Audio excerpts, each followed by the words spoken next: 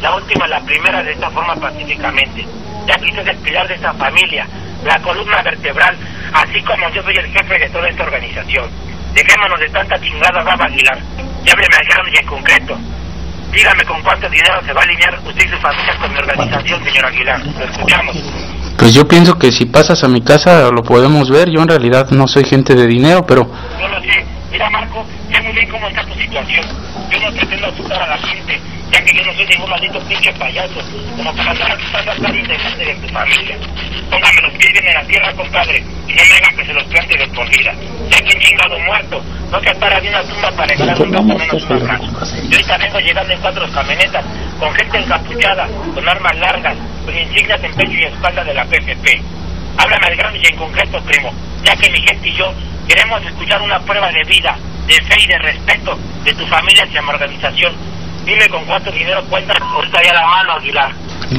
mire señor, yo en realidad tengo toda la, la intención de colaborar con ustedes, pero pues yo le repito, yo no soy gente de dinero. Yo lo sé, compadre, sé muy bien cómo está su situación, pero usted muy bien sabe, y yo lo sé, que usted no es de esa gente que está acostumbrada a que le caigan las cosas del chingado suelo. Y sé muy bien que usted es un padre de familia, que quiere y llama a su familia, compadre, y no crea que este dinero es dar por dar, ya que yo te vengo brindando protección y apoyo, con el cual te voy a dejar un radio en Excel con dos claves, una para que tengamos línea a las 24 horas tú y yo, y otra para que se identifique si tu familia aquí en toda esta área metropolitana. También te vengo dejando una insignia dorada de 4x4 que es respetada tanto con la política y la policía, ya que yo vengo pagando plata en todos estos municipios y toda esta gente prefiere comer de mi mano Aguilar, estar colorida conmigo y con mi cártel hasta el chicado cuello. Háblame al grano y en concreto, ahorita tus posibilidades, ya que sé muy bien quién eres, cómo te desenvuelves. Dime con cuánto dinero cuentas ahorita ya la mano, ya que queremos escuchar una prueba de vida, de fe y de respeto de tu familia hacia mi organización para que posteriormente se acerque mi gente a pegarte esa chingada insignia dorada que viene el radio en Excel. Hablemos al grano. ¿Con cuánto dinero te alineas, Aguilar? Pues es que lo que pasa es que no quiero que usted se enoje más. Yo tengo 186 pesos ahorita en la bolsa. ¿Cuánto tienes, compadre? 186 pesos. ¿186 mil pesos? No, 186 pesos. Mira, compadre. ¿En eso crees que vale un peso y un abrazo de tu familia, compadre, o qué pues? Pues eso era lo que quería, que usted no se enojara. Ya piensa que te vengo hablando por bolitas mágicas, o dándote unos putos palos de ciegos. Mire, compadre, a mí no me avalan las malas palabras. A mí lo que me avalan son la serie de muertes y decapitaciones que he venido dejando a lo largo y ancho de esta República Mexicana. Sé muy bien quién eres. También yo te lo dije que no pretendo quitarte el pan de la boca, ni dejarte en la pobreza extrema. Pero tú también ponte en mi lugar de teniente coronel y como jefe de toda esta organización, que yo no puedo acercar a la gente por esa chingada cantidad. No, pues, pues entonces no tengo más, señor. Si gusta pasar a mi casa y, pues si quieres, Que me consigas ahorita 300 pesos para que me hagas una prueba de vida. Yo sé que ahí los tienes, compadre. Sé muy bien en el mundo en el que estamos y cómo nos desenvolvemos. ¿Estamos Ok. sí, te los consigo, pasa por ellos. Mira, compadre, aquí las cosas se van a hacer como yo las vengo queriendo. Yo quiero que primero tú me digas que ya cuentas con ese dinero para que tú me hagas las compras de algo que a mí me hace falta. Más que nada para que mi gente que se encuentra fuera de tu domicilio vea que tú eres pacífico, vea que tú le vas, pues ahora sí que alinearte con mi cártel. Para dar el paso número dos, primero quiero que me digas el paso número uno. Ya cuentas con estos chingados 300 pesos, Aguilar. Sí, pasa por ellos aquí a mi casa, ahorita te los voy a dar. Mira, compadre, aquí es de que yo no pase o, pase la gente. Yo no quiero asustar a la gente, ni a sus vecinos, ni mucho menos a la familia. Ya que a toda esta gente yo le voy a echar el llamado. Y tú bien sabes que cuando vean que llegue toda la gente encapuchada y con armas largas, cuando yo les eche el llamado a esta gente, van a pensar que tú los encharolaste, primo. No te quiero meter también en problemas. Aquí se van a hacer las cosas como yo te digo. ¿Qué te parece si me activas uno de mis radios? Y mi gente que se encuentra fuera de tu domicilio, haciéndote un chingado operativo dispositivo en forma diamante. Para que se abra este operativo y se dé cuenta mi gente que está escuchando que se va a hacer pacíficamente. Actívame un radio, un radio uniforme de mi gente para que ellos me corroboren por otra línea que tú estás haciendo pacíficamente. Más que nada es una prueba de vida, una prueba de fe y de respeto. De que si usted la caga, yo la cago. ¿Estamos de acuerdo? Aguilar, ya que en estos momentos tú te conviertes en el propio juez y verdugo de todo aquel que porta tu sangre al igual que apellido. Agarra una pluma y un papel para que te dicte el número telefónico de mi sicario de aquí de la momia. Y ya lo tengo. Ya lo tienes. A ver, apúntate ahí, compadre. Sí, 50 y... Ajá, dime. 55, 55,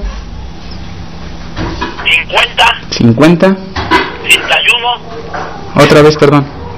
55, 55, 50, 31, 31, 43, 43, 40. De la 40. compañía Nefón. Háblame en tiempo y forma, Aguilar. Como mi gente me lo está monitoreando aquí por la segunda frecuencia, ¿a qué tiempo tienes una chingada tienda Oxxo, una papelería, una farmacia, una de esas chingadas tiendas donde tú recargues el tiempo ahí a un celular? Ok. ¿A qué tiempo la tienes, Marco? ¿Vas a pasar o no vas a pasar? Tú vas a hacer esta prueba de vida, compadre. ¿Pero tú no vas a venir a mi casa? Así es. Posteriormente que tú hagas esta prueba de vida, yo me arrimo con la gente para charlar contigo. Esto es una prueba de vida. Dime si va a haber jale o aventamos la moneda al aire para que pierda el que tenga que perder. No, Así sí. Tu familia. Mi familia sicarios. Y para mí toda esta bola de cabrones son desechables. Es que si a mí me matan 100, 200 cabrones, yo vuelvo a jalar para mi tierra. Me traigo 500, 600, compadre. Yo pienso que una baja en tu familia es irreparable. Ya que un chingado muerto no se para de una tumba para regalar un beso menos un abrazo. Por eso háblame en tiempo y forma. Sigue tu domicilio. ¿Cuánto tiempo tienes una de estas tiendas que te acabo de decir? No, pero pues yo quiero que venga, sirve que te invito a comer. Así es, compadre. Pues ya te vas a tener un banquete como para 50 cabrones. Ya que a mí no me sueltan estos 50 cabrones ni para un lado ni para otro. Ah, ¿son ¿Una 50? de que perder Marco Antonio? ¿Son 50 entonces? ¿Cuánto? ¿50 ustedes? Somos 50 cabrones ahorita los que venimos de aquí en todo Tlalnepantla.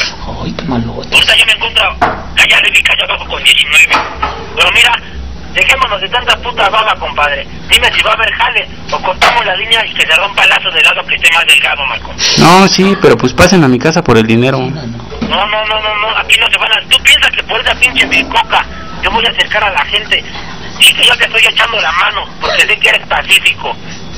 Demuéstrame esa prueba de vida y de amor que le tienes a tu familia, a mi organización.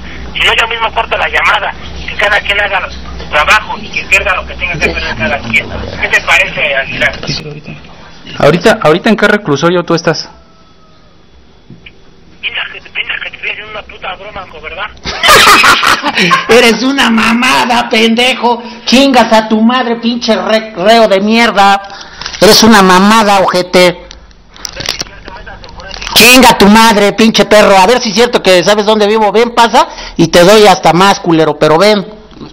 Ta- a- también te voy a dar 18, pero centímetros. A ti, a toda tu perra familia, culero. Y para que asustes a tu puta madre. Chinga a tu madre, eh, culero. Chinga a tu madre, chinga a tu madre hasta que te canses. Chinga a tu madre, pinche hambriado. Por eso estás ahí, hijo de tu puta madre. Por eso estás ahí, porque eres un pobre pendejo. Por eso, por eso estás en el reclu, culero. Ya ubiqué, ya, ya ubiqué de qué pinche reclusorio estás hablando, hijo de tu perra madre. ¿Ya? ¿Con eso te ya, ya quedaste conforme o quieres que te mande a chingar a tu madre más tiempo? Chinga tu madre, pinche reo de mierda. Tú y tus 50 sicarios y tu clave y tu toda tu perra madre, chingas a tu madre.